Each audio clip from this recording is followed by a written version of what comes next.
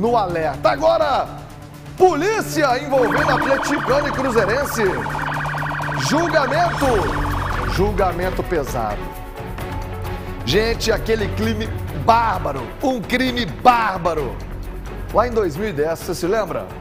Torcida do Cruzeiro indo para o Rio de Janeiro, jogasse com o Botafogo, torcida do Atlético, organizada do Atlético, fazendo o evento de MMA, subindo a Nossa Senhora do Carmo, torcida do Cruzeiro, do Atlético sai e virou aquela confusão e terminou na morte do Otávio Fernandes. E agora está tendo um julgamento de um dos envolvidos. O André Santos conta pra gente.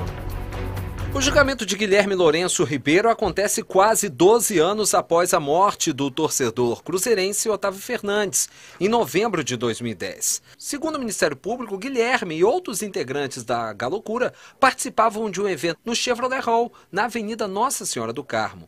Ainda segundo a acusação, os membros da Galocura foram avisados da chegada dos torcedores rivais e saíram do evento para iniciar a briga. As imagens de câmeras de segurança mostram torcedores da loucura agredindo a vítima, que fica caída em uma das pistas da Avenida Nossa Senhora do Carmo.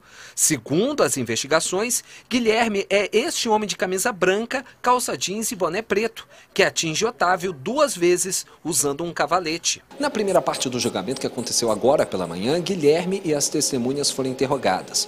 O acusado voltou a negar que seja ele o homem que aparece nas imagens agredindo o torcedor do Cruzeiro, Otávio Fernandes, na noite de 27 de novembro de 2010. Guilherme disse ainda que estava no Chevrolet Hall na noite do crime, acompanhando um evento de lutas, mas que não participou da briga. O acusado também negou ser integrante da torcida organizada Galocura do Atlético. No entanto, representantes da Polícia Civil voltaram a afirmar que é Guilherme que aparece agredindo Otávio com um cavalete.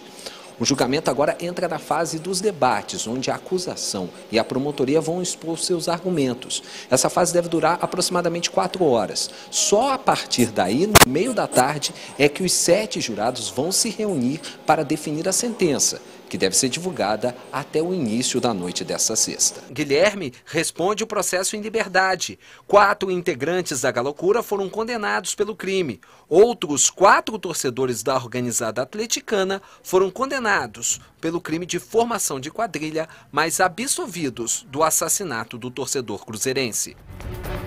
Olha, eu acompanhei esse caso muito de perto à época. Uma covardia, uma covardia sem tamanho. Sabe o que eu me pergunto? Como é que alguém consegue, em sã consciência, pegar um cavalete e ver um outro ser humano? Ah, mas é Atlético, é Cruzeiro, é PP, PSDB. Ô, gente, como é que pode um negócio desse, gente? Como pode alguém cair de uma outra pessoa vir chutar a cabeça e vir com um cavalete? Olha isso.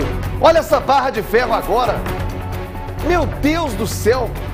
O que leva uma pessoa a fazer uma coisa dessa?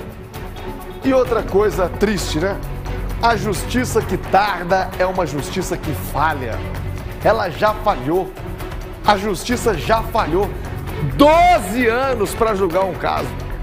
12 anos! Isso foi em 2010. Eu me lembro como se fosse ontem. Gente, são 12 anos. Ó, independente do que acontecer, já falhou. A justiça que tarda é uma justiça que falha. E a justiça no nosso país, infelizmente, falha e falha demais. O suspeito de matar um lutador, atenção Divinópolis, alô princesinha.